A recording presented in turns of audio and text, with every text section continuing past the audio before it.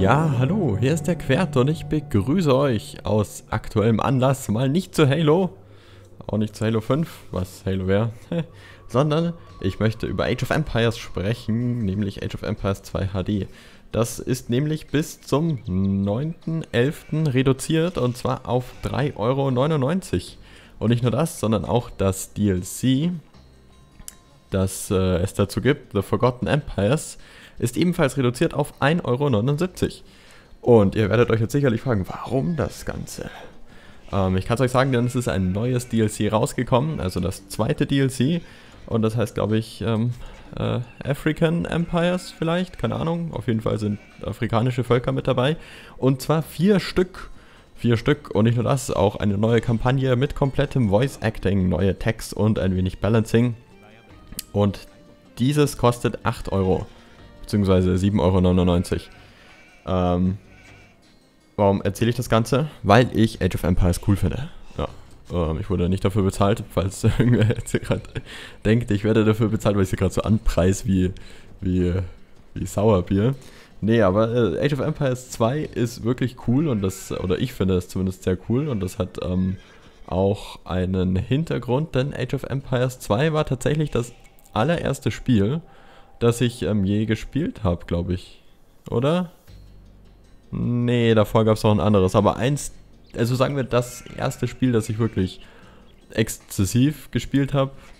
Okay, exzessiv ist vielleicht auch etwas, obwohl damals habe ich schon viel, ja, vielleicht sogar viel, viel mehr gespielt, als ich mittlerweile spiele. Naja, auf jeden Fall war Age of Empires 2 so mit eines der ersten Spiele, die ich gespielt habe und eigentlich so das erste Spiel, das ich richtig viel gespielt habe und das mir auch wirklich Spaß gemacht hat und das ich auch bis heute noch immer sehr cool finde.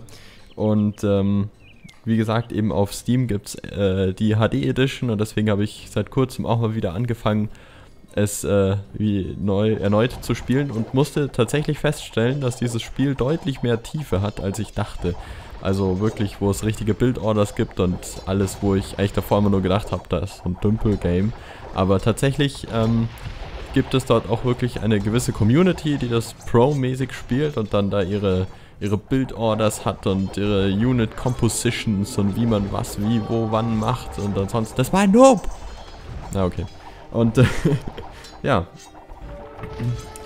Deswegen finde ich persönlich auch, weil Age of Empires 2 ein Klassiker ist, dass jeder es einmal gespielt haben sollte. Und es gibt eigentlich kaum einen besseren Zeitpunkt als jetzt, denn jetzt kostet es nur 4 Euro. Ansonsten ist es, glaube ich, ah, ich glaube 20 Euro kostet es auch so normal nicht mehr.